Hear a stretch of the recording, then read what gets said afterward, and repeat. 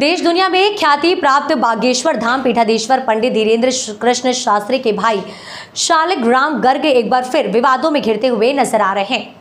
जानकारी के अनुसार, बीती रात Sagar road Mungbari toll plaza पर कर्मचारियों के एक साथ मारपीट के पूरे मामले में गुलगंज थाने में शालिग्राम गर्ग सहित 10 से अन्य पर धारा तीन सौ तेईस, दो सौ चौरानवे, पाँच सौ छः चार सौ सत्ताईस, चौंतीस के तहत अपराध पंजीकृत कर लिया गया है। ज्ञात हो कि पहले भी शालिग्राम पर गाँव के दलित परिवार की बेटी की शादी में फायरिंग करने का केस दर्ज हो चुका है। भाई की इस तरह की हरकत पंडित धीरेन्द्र कृष्ण शास्त्री के लिए घातक है, जिनका सम्मान आज पूरी दुनिया में है। रात में थाना गुलगंज अंतर्गत एक टोल प्लाज़ा के पास में कुछ लोगों के द्वारा मारपीट की गई तो उस आधार पर शिकायतकर्ता द्वारा एफआईआर पंजीबद्ध कराई गई है। इसमें अभी उनके द्वारा तीन लोगों के नाम बताए गए हैं, जीतू तिवारी लोकेश गर्ग और शालिग्राम गर्ग। और भी कुछ अज्ञात लोग हैं जिनके द्वारा ये घटना कार्य की गई है। तो हम लोग इन्वेस्टिगेशन कर रहे हैं। हमारी टीम पूरी इसमें लगी हुई है।